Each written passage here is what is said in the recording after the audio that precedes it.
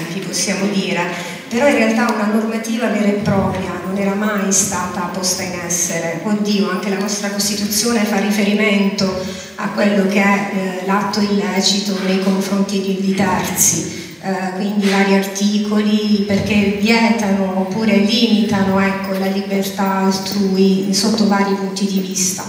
però siamo dovuti arrivare addirittura a quasi 3-4 anni fa per una normativa che in un certo senso mette un po' di ordine in tutto quello che era il disordine in merito a questi atti. Una normativa che eh, viene fuori anche da quelle che sono, diciamo così, eh, le novità mh, mm, mano a mano dei tempi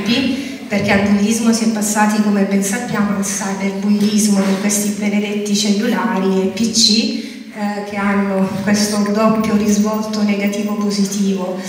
E dopo eh, eventi di cronaca molto molto strazianti, eh, si è giunti ad una legge, la legge 71 del 2017, che in un certo senso regolamenta un po' il tutto, anche se eh, questa legge va rivista,